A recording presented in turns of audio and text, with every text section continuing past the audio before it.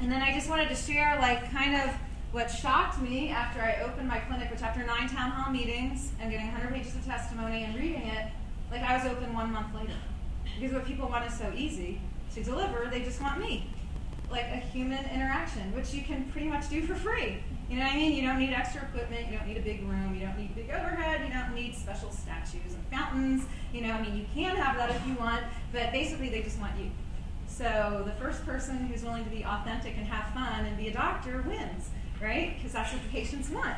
So do it. You know, it's so easy. And some of us who have PTSD might need a lot of therapy before we can find ourselves again. But it's totally worth it because, like, that's how we're going to get healthcare in this country. Healthcare is not going to be delivered from legislation and waiting for the next set of regulations to come from above. You know, like healthcare is going to happen when we find our own souls again, since that's what's missing in healthcare. You know, find our, we have lots of technology. It's great but we lost our souls. So we just need to figure out who we are again and then be that person.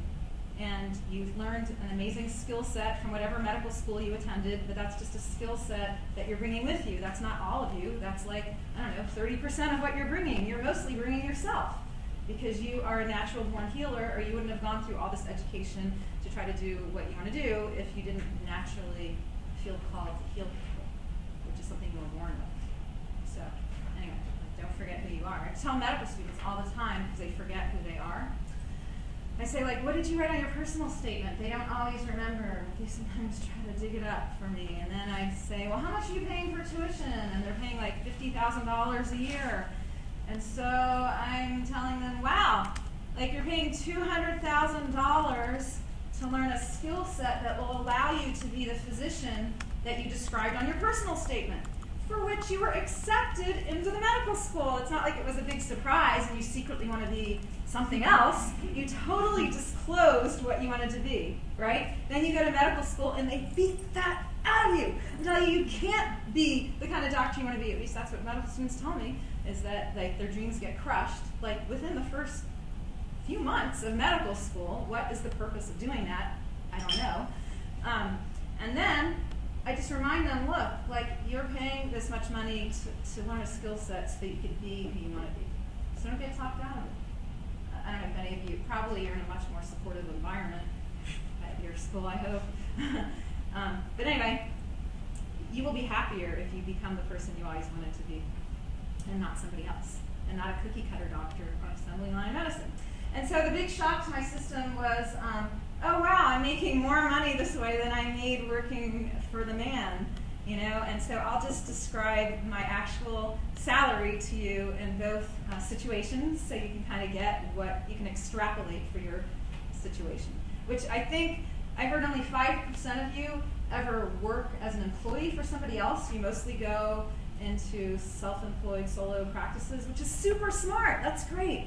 I hope you can help the allopathic doctors do that because we're really suffering, like not having any mentors who are as happy as they could be practicing medicine the way it used to be practiced before 1965.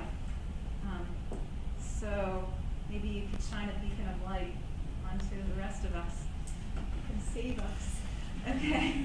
So, so I, I, compare these two models. Like right now, I say I'm in a low overhead volume employment model, which I call love. Okay. The other option is the super high overhead employment model, which is shove. So you get a choice. Like you could love your job, and usually it's relationship driven medicine. That's the big difference, basically. You have a choice. In medicine, you have two big choices that I you could choose between relationship driven medicine or production driven medicine. And you totally know which one you're on by how you feel when you start your day. In production-driven medicine, you get there and you're like, how many patients on your schedule? And you're like counting numbers and you're looking at your watch, and so you are on a production line. Relationship-driven medicine, you're like, oh wow, this is great. I'm to see Sue at nine. You know, and you feel really happy and you don't feel rushed, and uh, that's because you're in a relationship-driven love type practice, right? So I just think most healers want to be on this side. You know, maybe some people are happy in urgent care. You know, some people are happy doing fast-paced medicine. And if they're happy, that's great. There's no right or wrong way. It's just I see so many people who like are living in victim mode, trapped in a shove model that doesn't work for them. So that's just not the only model. So basically, I was an employee that had partnership potential in 2000 to 2002. Uh, spent two years in the shove model before breaking free and doing my own thing. And I worked full time, you know, instead of, so the difference is like, this is love over there, right? So on this side, I was uh, self employed versus being an employee. I was, um, I am part time versus full time. Over here, I work three half days a week, which is totally different than working four full days a week, which were really full days, like to the point of like exhaustion to your bones, full days, right? Because over here, I was seeing 28 patients a day and 112 patients a week, versus now eight patients a half day and 25 patients a week. So I'm seeing the same number, I'm seeing less patients per week than I saw in a day. And people will be like, oh, you're such a slacker. That's what doctors like to make fun of each other because you didn't play the number game as well as I did. Well, you know, like, I don't know. I actually was able to cure so many of these people over here and help them transform their lives because I actually had time with them. So spinning and churning people around inefficiently and throwing drugs at them, 28 patients a day, doesn't make you the winner. You know, I just like to say that. It does not make you the winner. it doesn't make me the slacker. Okay? Because I'm actually like spending 30, 60 minutes with each patient and solving their last 10 years worth of problems that they could never get answered on the assembly line. So this makes more sense to me. And plus, let's see, I have a patient panel of like four to 500 patients, like close to 500 now. And then over here, I had a patient panel of like 2,000. So I was able to uh, take care of 2,000 people really, really poorly, or take care of 500 people really, really well. So I don't know. It's much easier to be a good parent to two children than to 17. You know, you just have to figure out, like, it doesn't, sometimes you might not remember their names. You could have so many kids that you have to put name tags on them and color code their toothbrushes because there's too many kids in your house. And that's probably how you feel on a shove model. And over here, you actually can do your job because you're working in a, at a humane pace. You know, we need to bring humanity back to healthcare. And the way to do that is to allow doctors to be human and work at a human pace. Even though we have gadgets that can do 16 things at once, like people don't really want that. They want you to work at a human pace and to spend time with them and give them honest answers to their questions, which only you can do and a cyberspace robot can't.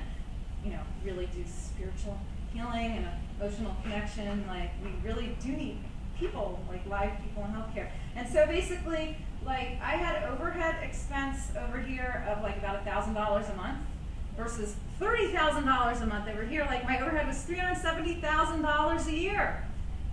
Like I brought in five hundred thousand dollars a year revenue, and three hundred seventy thousand went to overhead, which is probably explains why I was exhausted and I didn't have time to have sex with my husband and we got a divorce.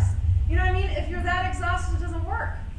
Over here, a great boyfriend, you've all the time in the world, I, you know, $1,000 a month, like waking up at the beginning of the month and owing $30,000 on a credit card is way different than waking up with $1,000 on a credit card, you know? And so at the end of the month, like bringing in, um, basically I could bring in like $140,000 a year based on the numbers I told you on my love practice, about 25 patients a week.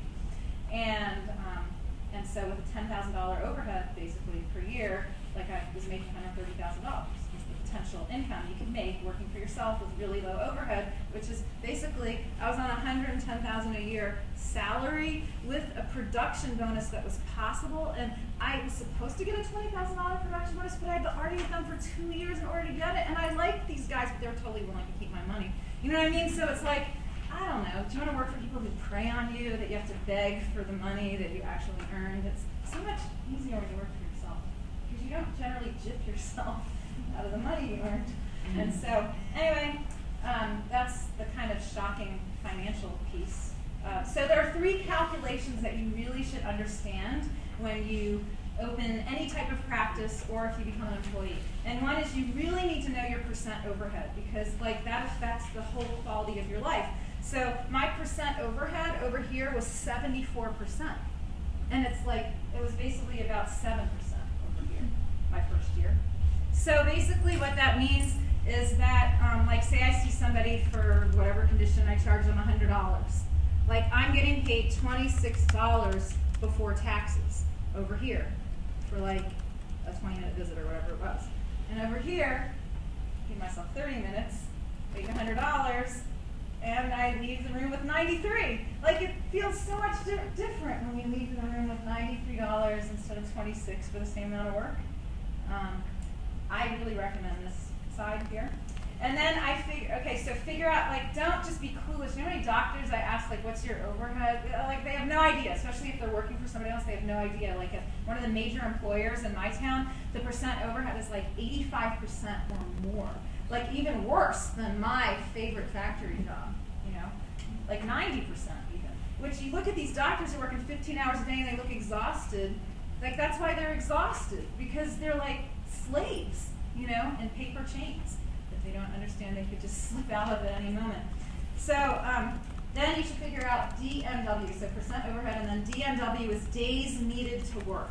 Like you really need to understand how many days per year you work to pay your overhead. That gives you a lot of clarity. So basically, I had a contract over here that was for 194 days per year which at 70, you multiply your days needed to work per year times your percent overhead. So times 74% meant that I worked 143 days per year for free. Like just for fun. Just to pay the mortgage on a building that I don't even own. You know, just give it all away. Like, okay, now I can take um, I work about 150 half days a year times 7% is like, I don't know, 11 half days. I could pay my yearly overhead at 11 half days, which means I could go do medical mission work and not worry about leaving like huge debt and the clock ticking on my overhead while I'm gone. I could, like, I went to help at Katrina and it was like, I didn't keep thinking, oh wow, I'm in the hole for leaving. And, and basically my patients were like, oh, you're a hero, yeah, go. Like people keep thinking like, oh, you can't abandon your patients, that's being a bad doctor. My patients were really happy, they thought I was cool to do that, you know what I mean? So um, you don't have to feel like you're in prison unless you put yourself in prison, but you should kind of know what you're signing up for. You should ask if you're going to be employed somewhere, what's my overhead percent? I'm almost done and I'll take questions. Um, and then here's the shocking piece. Have you heard numbers needed to treat? Do you guys use that terminology? We use that in allopathic medicine all the time. Like, yeah, how many numbers of such and such patient, you know, how many numbers of patients do you need? Don't ask for to save one person from a heart attack, you know, NNT, numbers needed to treat. Well, I just use it in an economic sense. Numbers needed to treat to pay overhead. Take your days needed to work and you multiply it by the number of patients you see per day and then you get the shocking number of how many patients you had to see per year 4,004 to pay your yearly overhead. Versus now I could do it in 91. So I don't know, do you want to pay your overhead by seeing 4,004 patients or 91 patients? And by the way, like I answer at least like five questions for people when they come in for their visits. They want to know, is this mole okay? I sprained my ankle. You know, they have migraines, sex drive, my marriage is falling apart. Like they have lots of different primary care questions. So if you multiply the 4,004 patients by the five or more questions they're asking, that means I answered 20,000 medical questions for free, just for fun, and I absorbed all the liability for that, and I just gave my life force energy away for 20,000 questions. So I don't know. To me, it's pretty clear. Like, wouldn't most people want to join me over here? It. There's all these different, okay, I take a question about that. I was just, um, could you explain the math one more time about why are you multiplying your overhead by your days needed to work? That okay, like percent overhead is basically um, like your overhead divided by your total revenue. So that's the fraction. It's a fraction. So it would give you a percent. So like for me over here, it's 370,000 uh, like over 500,000 and that gives you like a percent, 74%, okay? And so, like, I just wanted to know, well, wow, how many days was that that I had to go to work for free? So I took 74%, which was my percent overhead, and I multiplied it by the number of days that I work in a year that was in my contract, which was 194 days. So 194 times 74% meant that I worked 143 full days, which was 8.6 months out of the year for free, like a total slave.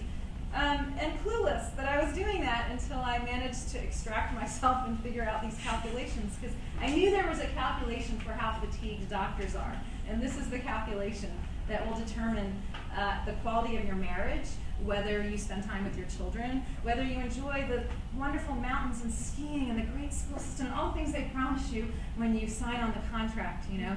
Uh, if you're if you're already being taxed 74% on your money before you even pay federal and state tax, you're possibly going to feel like shit. Sorry to say, it's just a lot to pay. And then you take that and you multiply it by the number of patients you see per day to get NNT, numbers needed to treat. And I think that gives you a lot of clarity about what you're doing in your practice. And whether you like how you're setting things up, and whether the extra square footage was really worth it. You know, was it really worth it to get three exam rooms when you would have a lower numbers needed to treat and days needed to work and percent overhead and more time off? You know what I mean? To have a smaller office. And did you do this math based on like a yearly salary that would be ideal for you, or did you just? No, I did it based on the real numbers. Like, like I was uh, being kind of a sleuth at my last employee job, and I always wanted to see the numbers, you know, and I kept track of all that because I somehow knew like this is going to make for a good book later. I'd want to know about this so I could compare the before and after because I just knew one day I would break free and I wanted to be able to have the real numbers, right? And then just multiplying kind of like the amount that I was earning per patient um, and the number of days I was working, and uh, just to see, it's just it gives you great clarity. Okay, so any another question? Well, sometimes, or often, overhead in to make life easier for the doctor, right? You have the front desk person, you have somebody answer when the patient call, they want someone live to answer instead of always the voicemail. So, um, could you give us an example of what things you cut out? Okay. What makes. So how to make a low overhead? Basically, I, I would first say anyone in cyberspace and everyone in the room should Facebook friend me and email me. I can give you an all like a 14-page FAQ with all this information, so you don't have to take all the notes now. I'll just email it to you, right? And you'll have answers to every one of these questions that you're asking because it's like the cheat sheet on how to open an ideal clinic. But basically, you just when you look at what people want, they want you. Like nowhere in there did they say another receptionist, another phone line. You know what I mean? Like the practice management journals that are suggesting that you do this are out of sync with what patients want. And it's totally different in tertiary care when you need a team and you're having a lung transplant and the helipad has to be there and you need a big, you know, we're talking about primary care, like pretty simple stuff for the most part. So, like, basically, you can do, for example, I don't do this, but you can do online scheduling with AppointmentQuest for like $6 a month or something like that. Like, I just have people email me, and I have a whole system down where it only takes two emails per person. And since I have low volume, I kind of like, I'm like a control freak. I like doing my own schedule, you know. So, um, so I schedule online, so it doesn't really require any phone calls, except for the three older patients I have who don't have internet, who have to call every time, you know. And so I do that the old-fashioned way, that most people just schedule online, and then they come for their appointment time right at their appointment time. So it's great because I'm ready right when their appointment starts, or either I have a, a gift basket full of soap. And they come in and like while I'm talking to them, I'm doing their blood pressure and their pulse, and you know like there's no reason for anyone else to be there. Like in most clinics, a patient comes in and then I don't know, there's bulletproof glass, and they had to fight to get there, and they're like knocking on the glass, and they open it up, and the person on the other side doesn't look really that happy to see you. They're like, why are you here? And they have to say because I had a cough and then you have to sit for two hours coughing all over everyone in the waiting room, and then they finally take you back, and then you're still coughing, and the nurse comes in and says, Why are you here? And you say you have a cough, and they write it down, and then they leave, and then the doctor comes in, and they're like, Well, why are you here? Because they haven't read that you have a cough, even though you're coughing, and it should be obvious, but it's like, you know, like too many cooks in the kitchen, who wants that? It doesn't make any sense. You know what I mean? Like, this is totally too complex for primary care. So anyway, if you remove all these people who are basically in your way, let's just face it, they were in my way. Like I feel so much happier not having all these. This is like being married to somebody and, and going to sleep at night. And your CPA's in the room with you, and the and then you've got the insurance agent. It's like, what are these people doing there? Like honestly, healthcare is a sacred relationship between two people that are going to have a physical, emotional, and spiritual like healing experience, okay? Which if you do it right, you feel invigorated after the visit as the doctor, and the patient leaves smiling and laughing, and it all went really well. And the more people you put in between, the less likely that you're going to have time or even make an adequate income after you try to connect with somebody real quick in a five minute visit where they teach you don't put your hand on the door because that makes the patient feel like you're leaving. I mean, we should see the stuff they teach us. This is the kind of practice management we get. In allopathic medical school, they teach us like sit down, even if it's for 30 seconds. It makes the patient feel like you were there longer. you know what I mean? Like we have to learn all this total BS. When really, it's like, why don't they just leave us alone so we can be the healers we were born to be, with the skill set that we learned in whatever medical school we attended that fits our personality and our, our you know, sense of wisdom. And anyway, so. That was awesome. Cool. That was really great. I am so glad I taped that. I'm going to listen to that a hundred times. awesome. Okay, yes, put it all over the internet. It's great. Everyone should know this. Okay, here are some. Uh, I promised in the little um, the little flyer that I saw in the bathroom stall. I promised her I was going to deliver today. Uh, to learn cutting edge practice models. Okay, here are some practice models. There's community designed ideal clinics. That's like what I did. I put the patient in charge. Okay, here are the two things. You're either on relationship driven healthcare or production driven healthcare. Then there's another thing you have to decide. Are you going to deliver patient centric healthcare or physician centric healthcare? Like, basically, the allopathic model delivers physician centric healthcare in a production model. Totally a slap in the face for the patient. Then they call it the patient centered medical home. Total slap in the face. Now, if you want to do a real patient centered medical home, you ask the patient what they want. And none of them are asking for give me all the narcotics in the world and you know, like they're not asking for unreasonable things. They want like what makes them healthy, right? And so you have a patient-centric practice that's relationship-driven, and you will be super happy because you won't be having an invisible tug of war in the room, which is how most doctors feel. They're trying to shove you on an algorithm, and that you're not even there for that. You're there to discuss your marriage or something. And they didn't get any. Um, they didn't learn how to do marital counseling in medical school, so it's like a mismatch. You know what I mean? Like, what's going to happen during that appointment? They're to offer you Prozac, that's not even why you're there. You know what I mean? It just gets really muddy if you get out of balance with yourself and who you are. And the further you get over here on physician-centric production line, the less in touch you're going to be with your patient, the less healed you're going to feel from the visit, and it's not going to work out that well for your patient. So, um, so community designed ideal clinics, that's, I think, the coolest model ever, you know, because my town did that first, and I love Eugene. And then there's also the ideal medical practice model, which is basically similar to what I'm doing, only like they didn't do the town hall meeting part. Okay? But since patients and physicians mostly want the same thing, they're really striving for the same kind of things, but they tend to be a little more physician centric because they didn't do the town hall parts there. Some people are actually clueless about what people in their town want, so they never actually ask them. And they, oh, you don't have to have a town hall meeting, you just carry around your cell phone or some sort of audio recorder, and when you're in line or at the bus stop or at the airport, just start asking people near you, wow, I'm getting ready to graduate medical school. What would be like an ideal clinic for you? Or how would you want your doctor to treat you? Can you describe an ideal doctor? There's people that are bored out of their mind right now waiting for buses, planes, or laundry to be finished, waiting in line at grocery stores. Don't waste a single minute. Start interviewing people wherever you're standing and you will get amazing information without even having to have an official town hall meeting, right? You just want to figure out what is the community zeitgeist, right? What is the spirit of the times? What do people feel right now in Portland, Oregon? What do they really want from a doctor? And who's asking this? You might be the only one, which is great. That's like you're going to win. You're going to get all the patients because you'll be doing what they want. If you want that many patients, you might be overloaded. Within six months, I had to start a waiting list. My waiting list was longer than my patient panel really quickly. And then it became so onerous to manage a waiting list that was longer than the number of patients I actually were taking care of. I, I had to stop keeping a waiting list. You know, that's how much people want this type of medical model. Okay, then there's the direct pay model, which is basically the pre-1965 pre-Medicare model, where people just did fee-for-service and they like common sense, like everything else, paid some reasonable amount for a reasonable service from a doctor they liked in their neighborhood, okay?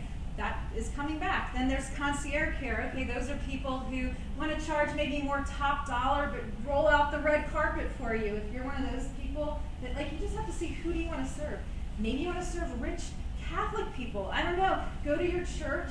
Tell them you're ready to start a VIP Catholic clinic, or you know what I mean? And people will come to you who are wealthy. You know, you could do that, and you could fly with them to Bermuda and do acupuncture on them when they're on the beach. And you know, if that's the kind of clinic you want to do, maybe you're attracted to poor people. Okay, you could do this really cool benefactor model. The benefactor model is where you attract rich people, uh, and then you tell them, like this one guy in Modesto, California. It's called the Robin Hood model. He did. He went to his Catholic church and he said he's going to open this clinic. Well, he wanted to serve migrant farm workers. The only way to serve migrant farm workers in allopathic medicine to get on the production line at a community health center, federally funded community health center, where you're pushing them through really fast. But he wanted to do like more like relationship-driven care with migrant farm workers. But how are you going to do that? Well, he decided to opt out of insurance altogether and charge 600 to $1,500 a person for like an all-you-can-eat primary care buffet. And for that amount of money, they were adopting a migrant farm worker family. So it's super cool. You are not only paying for your own health care for the whole year, you know, depending on your age. If you're a healthy 30 year old, maybe you're paying $600 a year, but that also would then pay for a, a relatively healthy 30 year old migrant farm worker who would get free care on like total local charity that works. You know what I mean? Instead of sending money to a charity far away where 94% goes to administration, like if you have a doctor that you trust, who's actually doing this, and I would take it a total step further and introduce them to the person that they're supporting and make it like where they spend Christmas together and they become best friends. You know? that's just I think like people need to break out of their social circle and meet people that are really different from them and have a mind expanding experience. And it's great because you're supporting somebody locally and then you're like the cool person that's doing all that because without you it would never happen.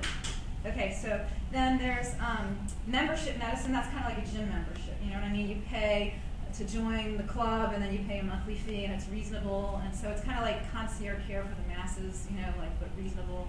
And then there's a house call practice, or what if you just did house call visits, like on elderly people or homebound people or people who are busy, or what if you did visits on people at work? You know what I mean? They they're workaholics and they want their acupuncture during their lunch break, laying on their desk. I don't know. There's probably different ways you could set your practice up where you go to them. Um, there's the low overhead model, which I think you should do no matter what, unless you're trying to do the VIP thing where you're, you know, have the biggest statue and the best fountain in town, and everyone comes to you because they want to brag that they're in brand name Doctorville. You know what I mean? But if you, uh, otherwise, I think you should do low overhead, just because you'll be economically free from the noose that would be otherwise around your neck. And then you could run